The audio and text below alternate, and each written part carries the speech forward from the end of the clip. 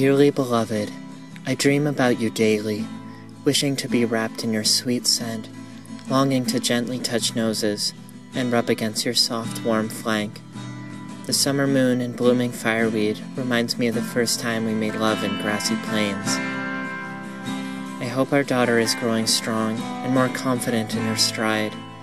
It seems only yesterday that we bounded together through fields of arnica and spring roses. I eagerly await our reunion on the far shore.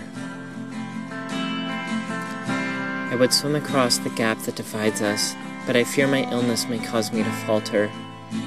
I wait patiently, desperately trying to understand their peculiar order. If only they could see the love that drives me, they would surely grant me safe passage. I envision a day when they remember the flourishing mutualism we once shared. As inevitable as the dawn of a new day, our future together will surely return. But until that sun rises, I will trust you will nourish our child and hold my love dear in your heart.